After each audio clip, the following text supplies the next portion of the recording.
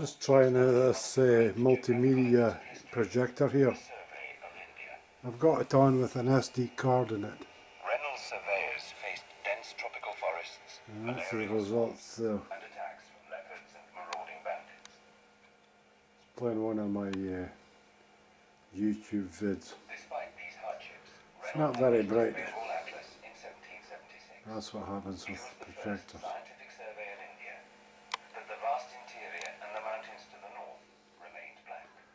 You can up to 20 meters. William Lambton took charge Yeah. of the survey, which had 20 feet, I think. with Britain's Indian In the pitch dark and you get away with it. intention was to measure the entire length of the Indian subcontinent using a system Not a laugh really. Getting it going. Yeah. known as the Great Arc of India. Yeah, to This was to be the most ambitious and survey ever undertaken, and would, for the first time, extend uh, scientific exploration to the Himalayas. 4 by 3 640 by 320. That's as high as it goes. I mean, it's like playing a 8 millimeter movie thing. This was an old VH tape that I got years ago. It's right off uh,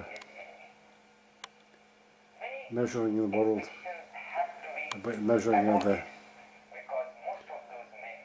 Everest and the highest mountains.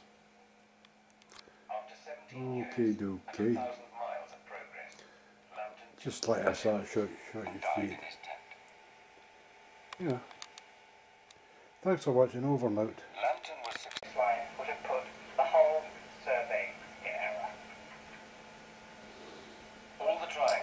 survey are measured against the length of these baselines.